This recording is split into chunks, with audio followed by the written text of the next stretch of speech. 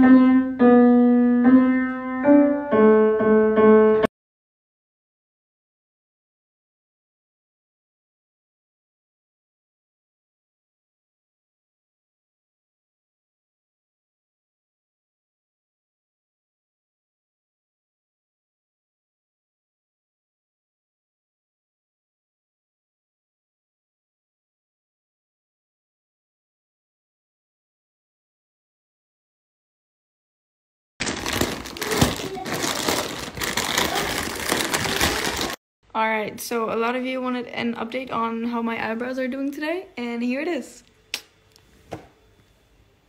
They are still a bit dark, in my opinion, but I love them. It's fine. I don't care.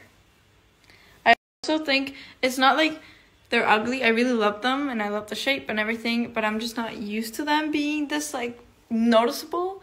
So, yeah. But I love the shape, and the color will probably still get a bit lighter because it got a lot lighter from yesterday. So we'll keep waiting.